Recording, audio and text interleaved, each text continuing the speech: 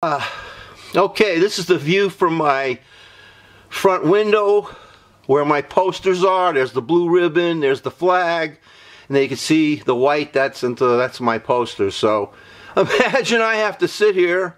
Well, I don't have to, but just the, the idea that uh, I guess it gives me something to do besides writing and trying to create and do another screenplay but this is important. This is not a matter of wasting of time. You know, they want the Blue Lives Matter ribbon. That's fine. I mm, want but this is in front of the entire complex. So let's people see the other opinion when they ride by too. That's all I'm saying because I don't feel that anyone has a right to go to someone's community uh, wearing the costume of law enforcement and then breaking their freaking heads and shooting them down.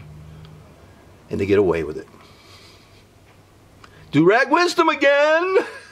And another continuing saga about the fight the post, free speech in the Trumpian teabagger terrorist era. Sadly, Orwell is spinning in his grave.